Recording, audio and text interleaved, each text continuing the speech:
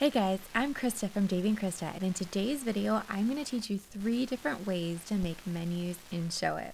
Today, we're going to focus on three different types of menus. First is a traditional horizontal menu that includes all of the different links right at the top of your page. Second is a menu that has drop downs. So if you have a lot of pages and you need them all up in the main level of your website, this might be something that you need to create. And third is a menu that pops open when you hit a button. So this could be a mobile menu or this could do something like we did for our design La Pelosa. And you probably won't need to use all three of these tutorials, so feel free to use the timestamps below to jump to the different segment that you do need. All right, so first up is the traditional menu. This is the most simple to create, and this is the one that we end up creating the vast majority of the time. It adjusts well between desktop and mobile, and if you have fewer than seven items in your main navigation, this is the way to go. So let me show you how to create one. So I have our Palm Springs design pulled up and I'm just going to show you how exactly how I made this. So on your Showit site, you're going to add a blank canvas and then I'm going to pull it up to the top of the screen. I'm actually going to put it other under this welcome message right here. And just so that we don't get confused, I'm going to turn off this one for now. So I'm going to hide it on desktop and mobile. This navigation mm, header doesn't need to be quite so big, so I'm going to make it smaller and I'm gonna add a title or a logo. So your logo here, and I'm gonna drag this over. Your logo probably wouldn't be that big, so I'm just gonna say your logo instead of your logo here. And we'll left align it, and I'll make this box smaller. And then for this particular site, I'm gonna lock it to the side of the page. So let me show you what happens when I preview that. If we hit preview, that means it's always going to be all the way over to the left as opposed to kind of floating in the middle about here. Um, and depending on the site you have, that might work or might it might not work. If you're going to center your logo, I probably wouldn't do that. Um, but if you're going to align it to the left, I think it looks good. And then next up, we need to add our links. So I'm going to add a, I'm going to use a subheading design but we want to make sure that we set this to be navigation instead of a heading. And I'm going to start all the way over on the left. So I'm going to make my box smaller and then I'll double click it and type contact. Next, I'm going to align this to the left and then I'm going to lock it to the left again. So lock this one. And then this is important you want your boxes to be pretty small. You don't want them to be so small that they start like acting funny like that. But once you have several different links, if they have bigger boxes that are overlapping each other, the links aren't going to work. So you want to make sure that they're fairly small. Next thing I'm going to do is add a click action and I'm going to take this to my contact page. And for some reason this keeps getting a little bit bigger. I'm going to just keep making it smaller. Okay, so copy, paste, and then I'm going to drag it out holding the shift button so that it stays in a line.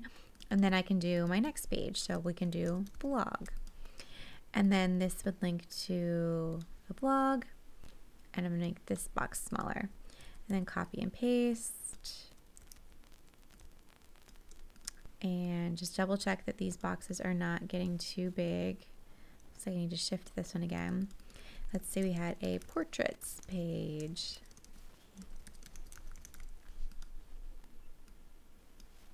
and take this one to our photos page. I don't actually have a portraits page in here. And we can just keep going with all of our links. So maybe we have about, weddings, and maybe we'll do a home page.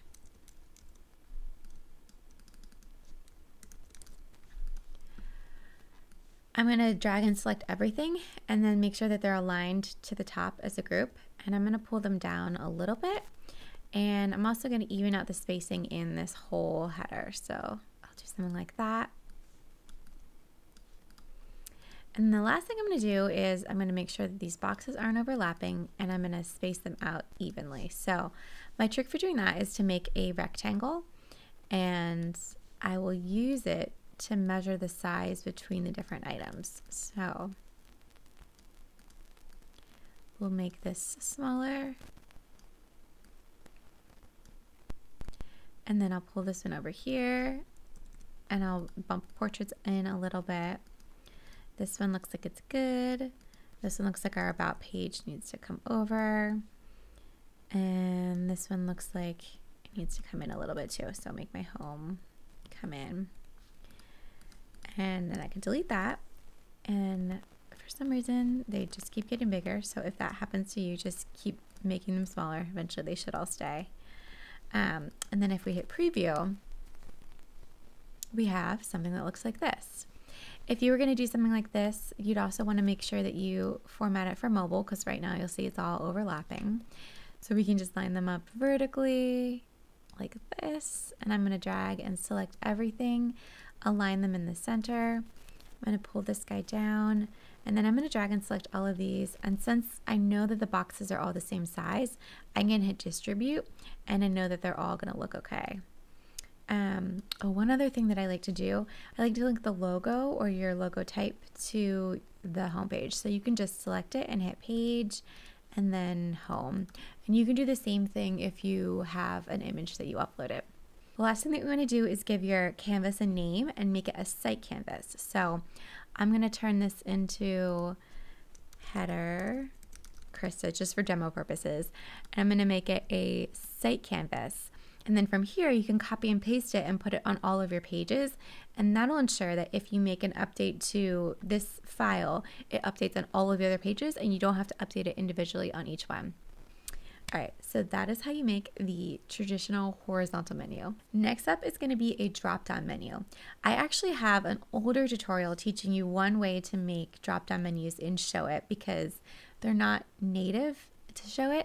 So you kind of have to do a few extra tricks to get them to work. But since then, I've discovered another way that you can do drop down menus in Showit. I'm going to preface this and say that drop down menus are not ideal. They don't work on mobile and they can be a little bit finicky. You'll see when I start to build it that they're not done the way you would probably expect them to be done. So, whenever possible, I try to avoid using them. Um, so, that might mean that you make your pages a little bit longer or that you have more links down in your footer where there's probably a little bit more space to add more links. I do know that there are some instances, like in the example that we showed for St. Patrick's Church earlier, where you just need a lot of pages in the main navigation, and the only way to get that to happen is through drop down menus. Okay, so let's head back to our site. So we're going to head back to our header file, and I'm going to start by adding an icon because we need a little icon that is going to show people that there is a drop down menu that exists. So where's my arrow? I'm to go with this arrow. I'm going to make it smaller and turn it and turn it again. And we'll put it to the right of this weddings area and move it back here. And I'm to move this this way and bump everything to the left so that we have a little more space. And I'm also going to hide this on mobile because this is not going to work on mobile. So if you actually head to that St. Patrick's website and check it out on mobile, you can see how I made a separate page with all of the navigation links on there. First thing that we need to do is we're going to add a canvas view. So add a canvas view. And then I'm going to draw a box. So we'll make this a box. And this is the menu that would show up when somebody selects that icon. So I am going to make it green. And then I just need to put some links in it. So copy and paste this one and move it up here. I'm going to left align it. And so if maybe you're a wedding photographer who has weddings in several different areas, like you have teams. So you could do Atlanta, Atlanta weddings. I'm going to drag this and make it bigger. And I'm going to bump this down one font size so it's not quite the same size. And then we could do um, New York City weddings. Then we'll do one more to, how about, no, how about Boston?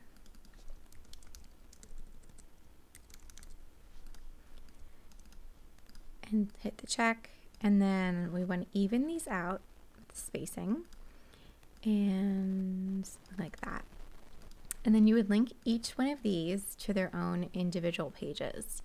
And I'm also going to turn them all off on mobile And then they all need to go into view one. So here in view one, I have all of my items. Actually, I'm going to add another canvas view before view one, and the numbers don't actually matter here.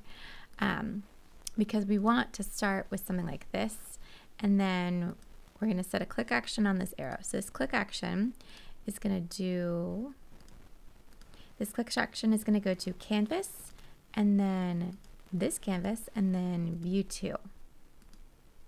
And we'll do the same thing here. So maybe instead, instead of going to the page, we're going to go to a canvas, and this canvas, and view two. And so if we preview it, we need to lock that arrow. Uh, lock it to the side like that. It's going to turn it on and we need to lock this as well. Otherwise we're going to have all of these issues going on. So let's come back here and we're going to set this to lock and we'll make sure that all of these are locked. And then we want to make sure that this whole canvas probably has a stacking order. I'm going to put 10 because we, otherwise it's not going to show up above that video. So let's preview it again and click on the arrow. And I need to check what this canvas is. This must be higher. But you can see that it shows up like that. Um, if you want to get the arrow to close when somebody clicks on it again, we can do another thing. I'm going to copy and paste the arrow. I'm going to put it on this view. So we'll say that this is weddings open, just so that we don't get confused. And I'm gonna turn it around. So use my arrow to turn it. I'm gonna move it up. And then in order to hide the one below, we just need to add a little white square. So here's my white square. We'll make it really tiny. And I'll make it white. And I'll come in and I'll put it below the icon right there. I mean, a little bit bigger. And then I'll move this guy down. And then we're going to set a click correction here to go back to the first view. So then if we come into preview and we turn that on, you can see that it came on and I need to lock that white box. Sorry guys. So lock this one. And then while I'm in here, I'm going to see what this view is. So this is set to be zero. On this individual page, I need to make the stacking above that. So I'm going to do four. And then I'm going to hit preview. And then if we do that, then we have our, our links right here. And then if we close it, then it goes away. And so if you wanted to add a navigation menu to portraits, you would do the exact same thing, but you would just duplicate this and this would be portraits open. You don't even have to name these. I'm just doing that to make it easier for you guys. And we would drag everything over. You would add another arrow and so forth. And you would do that as many times as you need in order to create your drop down menu. And again, I'm going to remind you guys to turn everything off on mobile because um, like if we had it all on on mobile, it's just not going to work the same on mobile. There won't be any space for these navigation items to shift around and it's going to get really confusing and hard for people to read. So check out my example on St. Patrick's website to see how I did that mobile menu with all of the other pages. And so the last way to create a menu is to do something like I did on La Pelosa, where you click a button and the whole menu pops out. This is the way we build our navigation menus. And then it's also just another fun way to add a menu to a website. Okay, so let's go back to our template. I'm gonna hide this, I'm gonna duplicate it, and then I'm gonna hide this canvas. We need pieces of it, but we don't need all of it. I'm going to convert it to a page canvas for now, um, just because I don't want to be flipping back and forth between pages. And let's say that we want this to be centered, and we'll center the text. And then the next thing we're going to do is add a little button up here that takes us to a pop out. So I'm going to add a subheading, and we'll make this say the menu. And I'm going to left align that and then I'm going to add an icon. So icon, we'll change the color to be dark and Showit has a lot built in right at the top. and I'm going to make it smaller and then move it over to the side. Then I want to lock this to the side and I'm going to lock this one to the side. And on mobile, I'm going to switch the order a little bit. So that one will go up to the top. Let's put this one right here. And then align that. And so we could do something like this and make it smaller. Uh, okay, next we are going to add a blank canvas and it's going to be down at the bottom. I'm going to make this canvas bigger and I'm to give it a color. So let's make this green. And then I'm going to start adding my links. So this is my link. We'll say home. And I'm going to change the properties so that it's a navigation. And then I'll just keep adding links. So I'm just copying and pasting on my Mac to create a variety of links. I'm going to align them in the center, make sure they're centered on the screen, and distribute them. And then we can type in our words. So home, about, weddings. Looks like I need to make this one bigger, then recenter it. Blog, contact, and make that bigger. Next thing I'm going to do is add a little icon that is an X to close this canvas. So icon, we'll make it dark. I'm going to make it an X, which Showit also has built in. And then I'll pull it up in the top and I'm to make it smaller. So something like that. And then I'm to lock this to the side. Okay, and then we can come in and adjust some settings on this canvas as a whole. I want this to take up the whole screen, so I'm to say it's window height. I want it to be hidden to start on both desktop and mobile, and I need to set window height again right here. And I want it to be on the top on both things. And I want it to be set to be on the top for both desktop and mobile.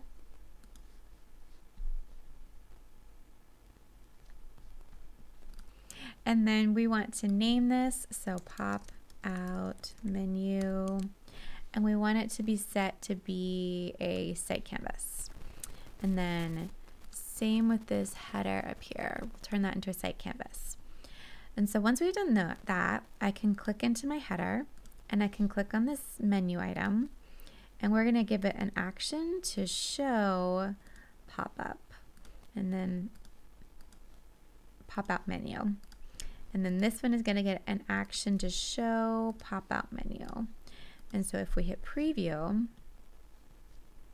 you need to lock that one. Uh, we can see that it's starting to work. It looks like I need to play with the indexing. So I'm going to lock this to the side while I'm here. So lock that one. And then I'm going to come on to this page and I'm going to give this a Z, a stacking order of 99 and hit preview.